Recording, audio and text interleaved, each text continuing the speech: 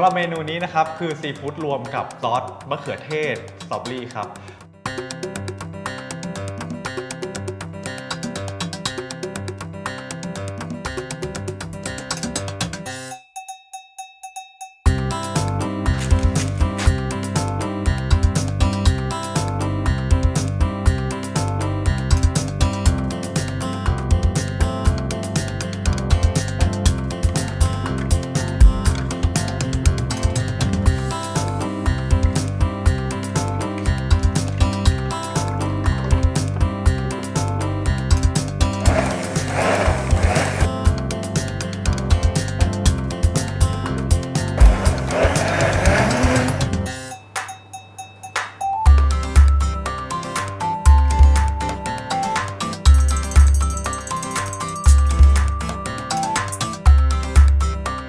เสร็จไปแล้วครับ เมนูจบมูติ เมนูต่อไปจะเป็นอะไรติดตามชมกันนะครับ